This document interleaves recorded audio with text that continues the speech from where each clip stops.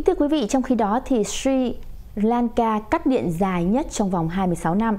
Sri Lanka ngày 1 tháng 3 đã thông báo đợt cắt điện trên toàn quốc kéo dài 7 tiếng rưỡi đồng hồ trong mỗi ngày và dài nhất trong vòng 26 năm qua. Lý do mà chính quyền đảo quốc tại Ấn Độ Dương phải áp dụng chính sách này là vì không còn tiền nhập khẩu dầu sản xuất điện do khủng hoảng ngoại hối.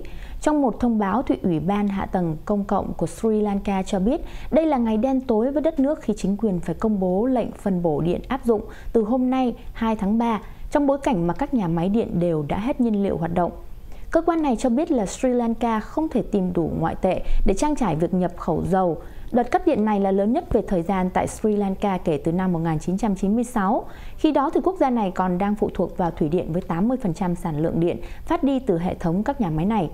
Tuy nhiên thì hạn hán nghiêm trọng khiến các hồ chứa cạn kiệt dẫn tới tình trạng cắt điện trên diện rộng.